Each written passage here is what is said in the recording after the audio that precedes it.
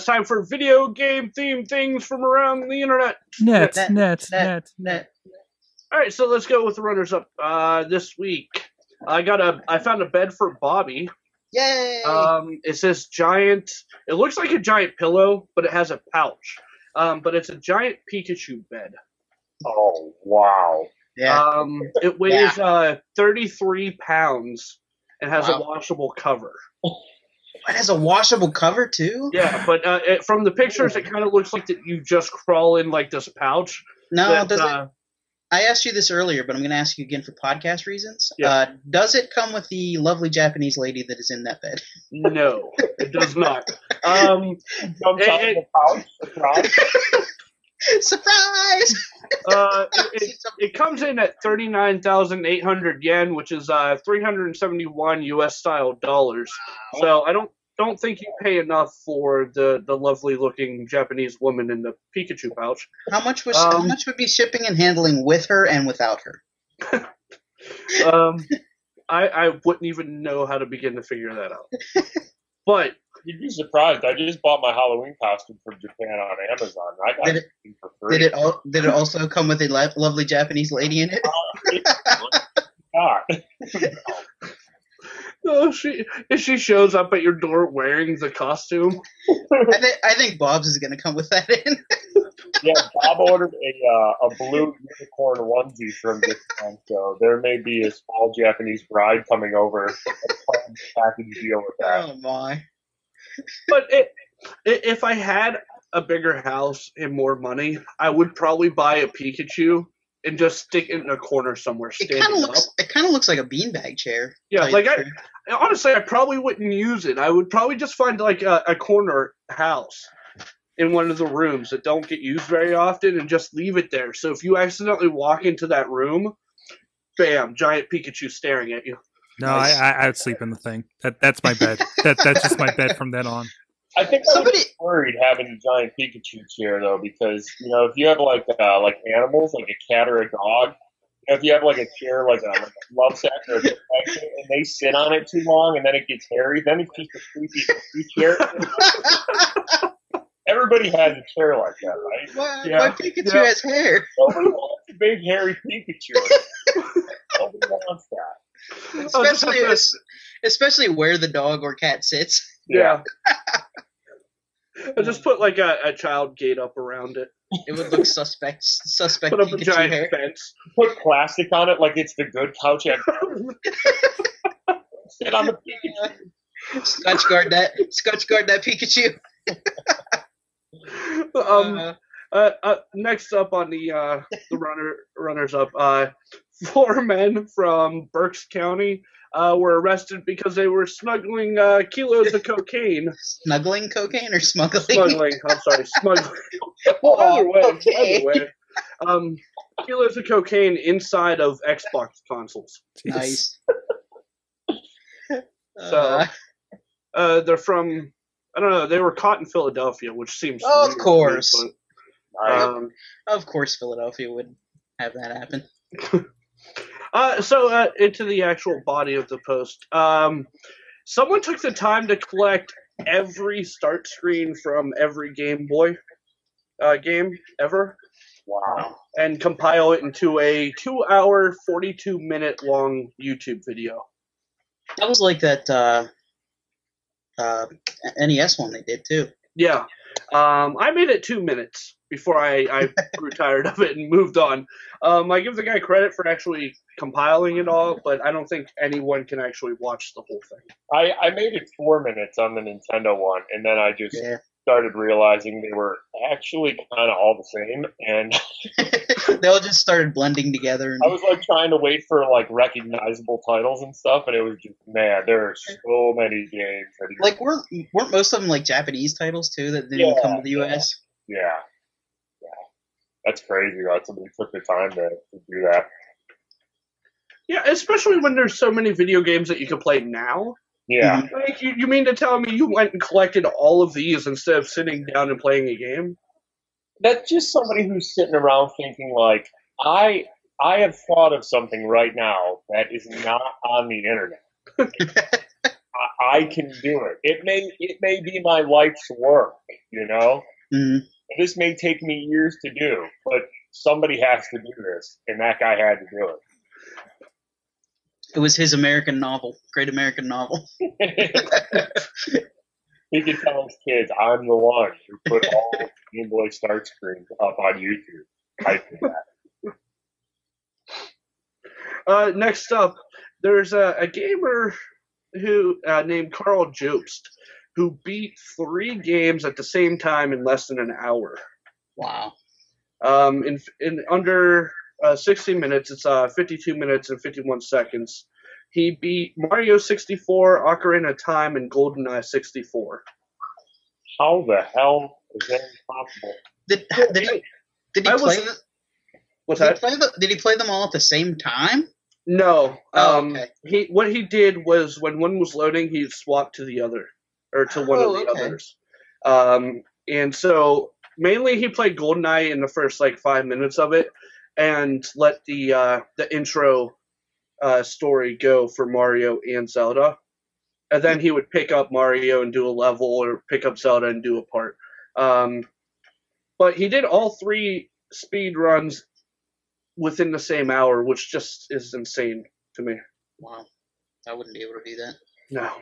And shows uh, for those on, on audio, um, it, it's showing like all three screens and and, and him, so you can kind of sync everything up. What's going on there? It, it is interesting because, like, yeah, he lo- loads a level, and I, I see him go over and do something in Ocarina. I haven't seen him do much Goldeneye from a little bit. I've been bouncing around this video so far. Wait, That's- you haven't you haven't seen him do Goldeneye? Because that's what he starts with. Well, I, I didn't I didn't start at the beginning. Oh, okay. Sword. It, it's like a book. You got to start at the beginning. Ah, no, YouTube's no. I'm too ADD for YouTube's like that. Come on. Plus, plus, you put in like a three hour and an hour video. I can't. Yeah. Uh, and last but not least, uh, a few months ago we went through a large video game collection on eBay.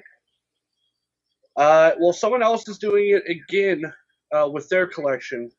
$164,000 currently on eBay. Wow. Um, the seller has declined 366 offers. What? Wow. So I don't know if these are just like people being assholes on eBay and they're like, "Oh, I'll give you five bucks for the whole thing," and he's just declining it, or if he's serious, if he's getting serious offers and just being like, "No, it's not what I want." He's just showing off his collection. But I mean, the dude has over 5,700 video games and 50 different systems.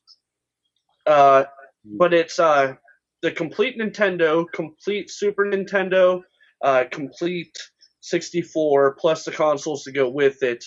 Uh, with uh, minus the one or two impossible games to get, but he did get repli- uh, duplications of uh, some of the harder ones, with the exception of World Class Track Meet. Yeah. So uh, the games are there, but they're not actual copies of them.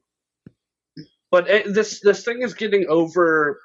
Uh, at the time, it was fourteen hundred views an hour on Wow. eBay, and no one's actually bidding on it. It's all just make offer. I'm trying he- to save. I'm trying to save up for that Pikachu bet. I'm sorry, I can't bid on it. Yeah, But yeah, what that guy's doing. Maybe he's trying to pop a couple. But uh, it, he he it's buy it now or make offer. Those are the only two options you get on this. Man, So, uh, yeah, it, it's. Uh, I would sell body parts if I were allowed. does one even get a collection? like that? You know, like is that is that somebody who just was like playing games the whole time and then was just like, wow, I'm only like a hundred games away from having all the Nintendo games. Might as well try to get them all here. I and I think that's exactly what happened. Like, I it, I mean, that's the only way that it could happen. At some point in your life, like either your mom's gonna tell you you have to sell them all and move out, or your wife is just gonna be like, no, this can't happen, or you're gonna reproduce and have a child and realize, all right, this is my, my this is my kid's college fund right here. It has to go. But Kids, one day, one.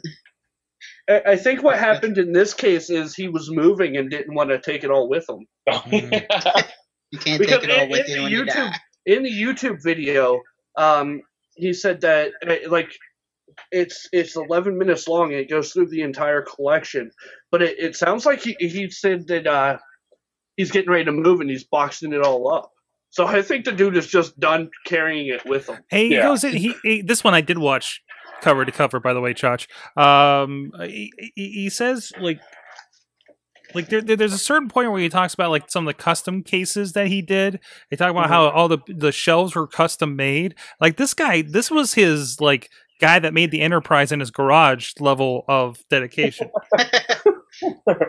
It's Like- all holodeck. They don't actually exist. I- it's yeah, it, it had been like this is the kid that like spent his allowance on every new game that came out and just just became a his parents bought 'em completionist. all for him. Yeah, well, maybe that's it. Maybe he's just some rich kid. Yeah. That's it. It's Nobody- actually the kids from Brewster's Millions. Maybe- maybe he was a game see- reviewer. I I wish I were kidding when I say this, but if I could have a collection like that, I would in a heartbeat. Mhm. To the point where I might run it by Chris just to make sure it's okay before I even bother to start. Just so you know, though, one day, if we have wives, they're going to Nicolas Cage us. and we're going to have to get rid of stuff. I be too many video games for me to process. Yeah. But yet, I've already shared my story about how I can't play more than one game at a time. So that may that would like send me into some sort of panic if I actually physically saw that many video games in front of me. Mikey just has like 12 copies of every Madden game. I couldn't do it. I honestly think that I would only want to do that with Nintendo, the mm-hmm. original NES. Oh, yeah, yeah. Like if I could have a wall that was just every NES game, Yeah. just to say that I had them, You, you know, I, I would be okay with you know, that. you know, the thought I had when the story first came up, uh, like a week ago, right? Um, was wow, I'd love to have that collection. Then just put all the ROMs on one of those main units, and I legally own everything, and everything is just display. Yeah. Like- really- And I then think, I think Super Nintendo I could do it with too. I think Super Nintendo there's enough games over time that were like kind of classic enough to where, you know, like Wait. that, that would kind of be cool to have every Super Nintendo game because I almost always forget about how awesome Super Nintendo was. You know, because Yeah, it, it's it's very it has very underrated games. I mean, there look at just like the 8-bit Nintendo, the original, and then there was you know Nintendo 64. Super Nintendo always gets lost in that shuffle. Mhm. look at this custom shelf he did for the 32X and Game Gear games. Wow. Yeah. wow. wow. Yo, That's that is serious right there. My house my house looks like a GameStop. it basically is. And the other idea was like, why not just like open a video game library, museum, something or other? Yeah. yeah. Donate it to that video game museum in Texas. Be that No, video go- no, game. Because museum. honestly, if I had that collection, Yeah. you Sorg, I've known you for like 15 years. You would be lucky if I even let you breathe on it. like, I once the collection was done, it would just be like an inch thick sheet of plexiglass. you would have that Pokemon seat cover all over it, Right. so I mean, it would just be locked up. no cat hair on it.